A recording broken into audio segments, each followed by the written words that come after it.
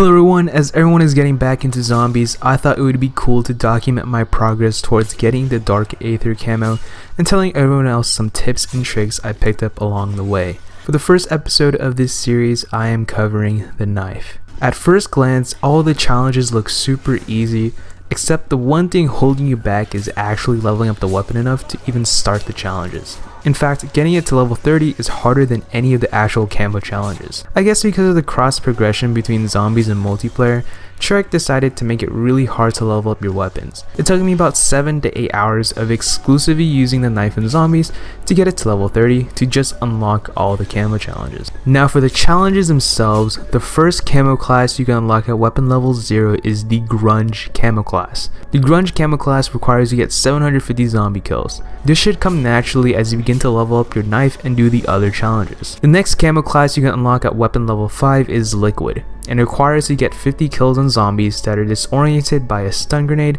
decoy grenade, or a monkey bomb. Now before the recent patch, the easiest method would have been to use a decoy grenade and you would lob it in an area where zombies can't reach and it will distract the zombies for over 30 seconds which is even better than the monkey bombs. This meant that this challenge could have been completed with pretty much only two decoy grenades. However, as of the recent patch, Treyarch fixed this and now it only lasts for 5 seconds flat. In my experience, I found that using stun grenades produced the best results. Monkey bombs are very expensive as they cost a thousand scrap each and you can only hold on to 2 at a single time. On the other hand, decoy grenades have a small time window to kill while distracted. The most cost effective way I found was to just spam stun grenades as they are fairly cheap and you can kill at least 4 to 5 zombies before throwing your next stun. Overall this challenge was really easy and I just trained in the spawn room and bought stun grenades as I passed the crafting station. Next is the brush stroke camo class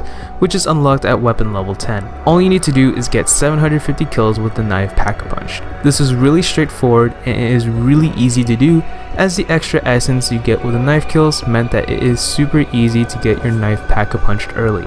When I was going for this challenge, simply by knifing only, I was able to get my knife pack-a-punched by round 6 or 7. After the brushstroke camo class is the vintage camo class, which is unlocked at weapon level 15. The challenge requires you to get 15 kills with the knife against zombies affected by Frost Blast, Ring of Fire, or while using Aether Shroud. Listen, all you need to do is use Aether Shroud and kill zombies while you're invisible.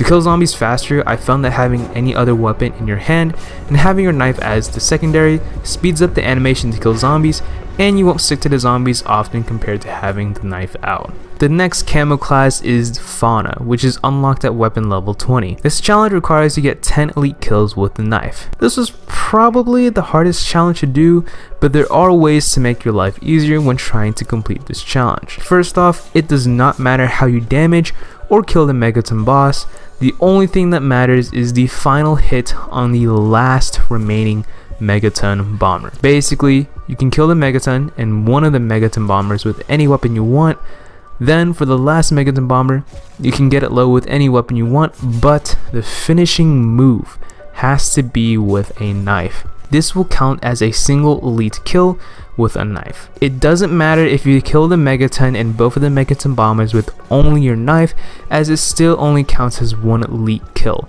So it is easier to kill the Megaton and one Megaton bomber with another weapon then get the finishing blow on the last Megaton bomber with your knife. I recommend getting the electric or fire die upgrade to burst down the Megaton easily, but you can of course do it with any other weapon of your choice. Once you reach weapon level 25, you can unlock the challenges for the Topography Camo class. This challenge requires you get 10 kills rapidly for a total of 10 times with the knife. On paper, it kinda sounds hard, but when you're actually doing it, it is actually really easy. The timing is very forgiving, so all you have to do is run around getting kills with the knife. Finally, the last set of challenges before getting gold is the Infection Camo class which is unlocked at weapon level 30. The challenge requires you to get 20 more consecutive kills with knife without getting hit 10 times. Honestly, I thought this challenge was going to be really rough and annoying, but it can be really easy. I highly recommend just starting up a fresh new game, starting at round 1, and exfil at round 10 and repeat as necessary.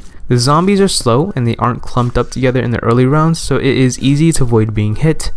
The zombies are a little bit faster and they start to clump up, just run around the map to cause them to despawn and respawn at new locations to separate them. Just keep in mind that knifing the zombies without being hit is easy to do when it's just one zombie by itself. Don't get too greedy and try to knife the zombies when they're together as it is very easy for the knife to get magnetized towards the zombie you're stabbing which might cause the zombies nearby you to hit you easily.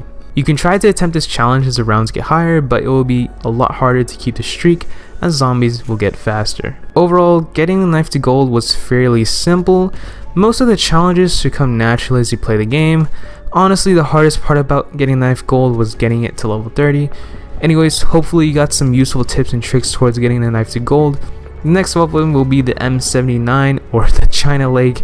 And listen, it's probably gonna take a while for the next video in this series but it'll be worth it for that sick dark aether camo. Anyways thanks for watching. Peace